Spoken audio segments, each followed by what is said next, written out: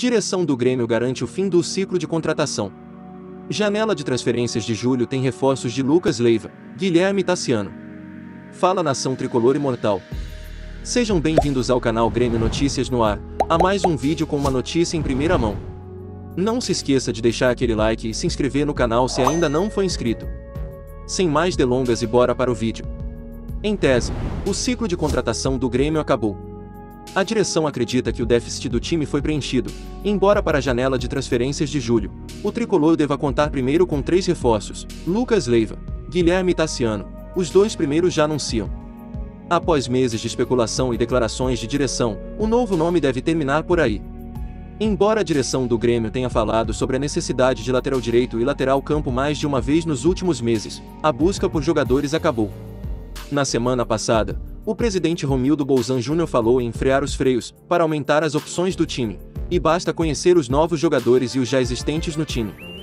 O vice-presidente de futebol, Denis Abraham, até admitiu o fato em tom de brincadeira, assim como o técnico Roger Machado, que também não escondeu o desejo de ter um novo meio-campista nas últimas semanas. No entanto, o treinador destacou a dificuldade de convencer os representantes a abrir a caixa. Quero mais 10 reforços, se o convencermos. Mas enfim, quando chegarmos, sabemos onde fica o clube, mas vamos manter o foco. Romildo.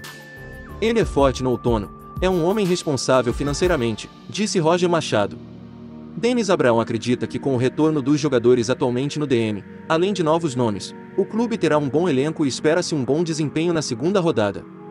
No entanto, embora tenha confirmado que o novo nome da divisão estava em hiato, o líder tricolor enfatizou que, embora não se concentrasse mais no recrutamento, havia uma oportunidade de capitalizar no final.